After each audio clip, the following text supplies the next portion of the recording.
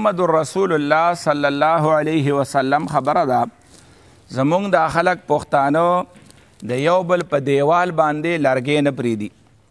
زمونږ د خلک چې د گاونډي په دیوال باندې مثال یو سړی لانټر چی نه گاونډي په خپای نه پریدي دغه شانته ک بنش پګدی نو پاغه باندې خلک جنگ کوي اوس د دې حدیث نه خلک نه دي خبر چې دا د بخاري شریف حدیث دی او محمد رسول الله فرمایي چې یو سړی به منې کوي نه د الله پیغمبر اجازت ورکړی دی چې ګاونډي دې ستا په دیوال باندې بینچ کی دي کړی دي کی دي ته به منې کوي نه ته وګوره ورته او زمونږ خلک په دې باندې مرګ کوي چې دا زما دېوال دی او ستا کړۍ او ستا بینش او ستا لنټر پرې نه راپرېږدم. نبي صلی الله علیه وسلم فرمایي، ګوره! لا یمنع احدکم جاره، نه دې منع کوي یو سړی په تاسو کې هغه خپل ګاونډي، ان یفرز خشبة فی جداره، د دې خبرې نه چې کیدی دی لرګی، کیدی دی بینش یا کړۍ په دېوال د ده باندې، یعنی مطلب داره گاونډي نشه منې کولې د دینا چې ستا په دیوال باندې هغه بینچ کې دي ستا په دیوال باندې هغه سپیا کې کې دي ستا په دیوال باندې هغه لرګې کې دي د دین نشه منې کولې دا د محمد رسول الله اجازت ته او دا صحیح حدیث ته نن زمونږ تنگزړی یو په لار زما مرزه په دیوال باندې زما سمګ ده دیوال ځان لخپلو وخه يه مسلمانه بني آدمه د الله د رضا د پاره سکه او کنه کې د الله د نبی سمانه او کنه منی کنه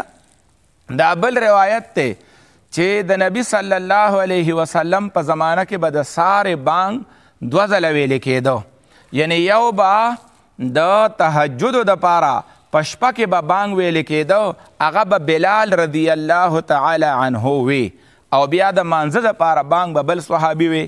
نو نبی صلی الله علیه وسلم صحابه ته فرمایلو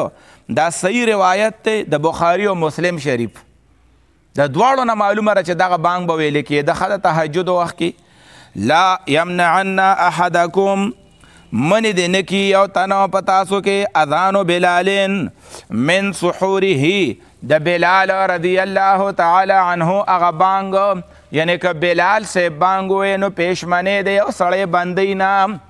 اسنه بلال سه بانګ وې هغه پشپکه وې اتا سوای چې غنه بس خواړس ک بن شو روزه شو روشوا نه نوی دا چل دی ونکی ګوره ښا فانه یؤذن دا بلال صاحب چې کوم بانګ وای بلیل نو دی شپه کې وای نبی صلی الله علیه وسلم فرمایل دا د شپې بانګ دی د سره پاره دی وای لیرجع قائمکم قائمکم د دې لپاره چې لګرامو کې تاسو هغه عبادت گزار که یو سړی د شپې ټوله شپه عبادت کړي کړي که نه نو چې بلال صاحب بانګ وي نو پته به ولګي چې بایی د سار وخت نږدې شوی دی ما ټوله شپه عبادت وکړ اوس به لږ ارام وکړم صحابو کې داسې خلک وو چې د شپې به په ګینټو ګینټو باندې الله پاک ته ولاړو د قرآن نه معلومه ده چې نبی صلی الله علیه وسلم مرګرو کې با د شپې اولاړه باغی کوله کنه الله ته عبادت پکاو نو وی چې چا ډېر عبادت کړی بلال سه بانګوي لګه دمه بو کې چې وخت نږدې او بل دارا ويوقذنا امکم او بیدار بکی هغه خوب والا پتا سو کې چې سو کو د دې هغه را پاسي نو را تهجد د مونږ بو کې دغه وخت را پابسي نو پته ولګیدا چې د پیغمبر علی السلام په دور کې دغه د تهجد او بانګ ویل کېدو صحابه وی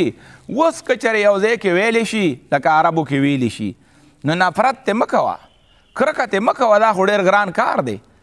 په دغه دوه درې بجې به څوک پاسي او بیا دغه وخت به اودس کوي دغه وخت به الله ته ودرېږي نو موږ په خپله پاسېدی نه شو او که څوک پاسېدلی دی او الله ته ودرېږي نو په هغه اعتراض کوو اعتراض خو یو اسان کار دی په بل ته ګوته نیول خو یو اسان کار دی بهرحال دا بل حدیث ته د نبی صلی الله علیه وسلم د هغه چا په باره کې چې د کم سړي بچی مړ شو نو نبی صلی الله علیه وسلم فرمایل دا صدمه دا تکلیف چې په دې بنی آدم باندې راغی چې بچی یې مړ شو د دې د وجه نه به الله د د ګناهونه معاف کړي چې دې صبر وکړي الله رب ذوالجلال به دله جنت ورکړي ګوره لا يموت لاحد دا هم د بخاری او مسلم شریف روایت ته متفق علیه نمړ کیږي د یو تن من المسلمین په مسلمانانو کې ثلاثه من الولد ثلاثه من الولد درې بچي کله چې د یو مسلمان درې ماشومان مړ شو زامن مړ شو درې برابر شو نو نبی صلی الله علیه وسلم وی وی فتمسه النار الا تحلت القسم دی به ورته نزی مګر د قسم د ریشا کولو لپاره یعنی صرف پاغه پول باندې ورته ریدلو چې هغه پل باندې د جهنم د پاسه ورتیریږي او جنت ته ځي دغه شان بل حدیث کې دی کې خدري راغلیو بل حدیث کې دو راغلی دي چې د کم سړی د کم پلار د کم مور دو بچی مړ شو د دې په ژوندانه باندې الله پاک به جهنم ته نبوزي بل حدیث کې یو راغلی دی ځکه دا بچی ډیر خوګ دی اولاد چې کم دی د اولاد دا غم ډیر لوی غم دی دا غش ډیر ناکاره دی نو د الله د نبی خبره ده دا چې د چا باندې دا غم راغې او د الله د پاره صبر وکړو د الله په فیصله باندې صبر وکړو نو رب په د باندې د جهنم ور حرامي یو حدیث پاک کې دا سم راغلی دی چې الله پاک فرمایي حدیث قدسی دی هغه رست بدی کتاب کې هغه مراشي چې الله پاک ملائکه ته وی وی دک پلار لا دک مور لا ابنو له بیتن فی الجنت په جنت کې ولا بنگله جوړه کې او اولی کې پاغه بنگله باندې نوم ولا کې ده چې دا بیت الحمد ده یعنی دا د هغه سړی کور ده دا د هغه سړی بنگله ده او رست هاوس ده کم سړی باندې چې دومره لوی صدمه راغلی و بچی یې مړو د بیا هم د الله شکر ادا کاو د بیا هم د الله عبادت کاو د پاغه لوی صدمه باندې صبر کړو ښا دغه شانتي بل حدیث ته چې لا يموتن احد الا وهو يحسن الظن بالله مرګ د ناراضي پتا سو کې او تن لا مگر داسې وخت کې چې د د په الله باندې خګومان دی د د د الله نه د خیر تمه ده یعنی مطلب دا دی چې کله یو سړی ته مرګ نږدې کیږي کنه بوډا شوی دی یا بیمار دی په ځان باندې پوهېده چې اوس وخت لږ دی دی دې د الله نه ډېر لوی امید ساتي چې زما رب غفار دی زما رب ستار دی زما رب غفور دی زما رب رحیم دی ان شاء الله هغه به ما سره اسانه معامله کوي او نور لوم پکار دي چې کم کسانی چې هغه ولوم دک ترغیب ورکي په دغه وخت کې چې الله غفور او رحیم دی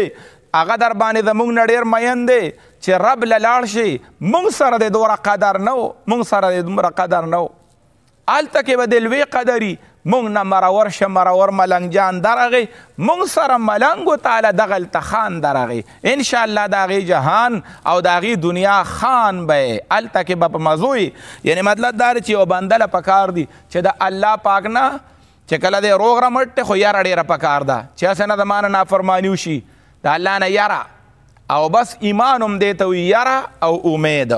او په آخر کې چې کله دی وی زروانم نو هغه وخت کې بیا تم او امید چې زما رب چې کم دی نو هغه غفور او رحیم رب دی او ما په ټول عمر کې دا غنه سیوا بل چاته سر نه ده کته کړی بل چاته می سجده نه ده کړی د بل په در کې می جولې نه ده غړولې اک رب لروانم چې ربانه د مور پلار نه ډیر مې نو مې ربان دی دا بل حدیث ته یو ځل ابو بکر رضی الله تعالی عنه کارېدل یو خپل غلام او نوکر هغه ته سټکه داسې لګټي د زهرنه غوندي وي نو نبی صلی الله علیه وسلم وته فرمایل چې ابو بکر لا ينبغي للصديق ان يكون لعانا نه دا مناسب او د صدیق د پاره ابو بکر صدیق سره مناسب نه دا لوی مرتبه دا دا خبره چې دې دې چاته بدر دوی یعنی مطلب دا دی د ابو بکر صدیق مرتبه ډیره اوچته ده هغه چاته کنځل نه کول هغه چاته سپکې نه وي خو د الله د پیغمبر هدایات دي چې مطلب د لوی مرتبه سړی دی یو لوی انسان دی هغه له نه دی پکار چې خپل مزدور ته خپل نوکر ته سپکې ووي کنځلو کې نن سبا خو خانان خپل نوکرانو ته غټ غټ کنځل کوي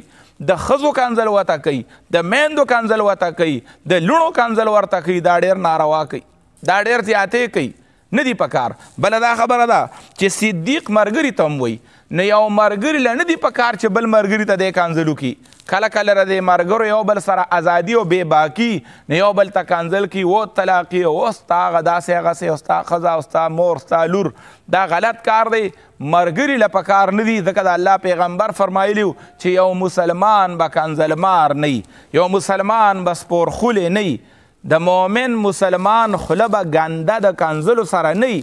اوري دا د الله د نبی هدایاتو دغه شانته یو ځلی نبی صلی الله علیه وسلم له چا قیمتي د ریخمو یو چوغه راوړه یو قبا یې راوړه لکه داسې یو لویه کمیس ورته ووایه چوغه او ډېره قیمتي وه هغه وخت کې د ریخمو د اچولو اجازت ریخم لا حرام نو خو ډیره قیمتي وه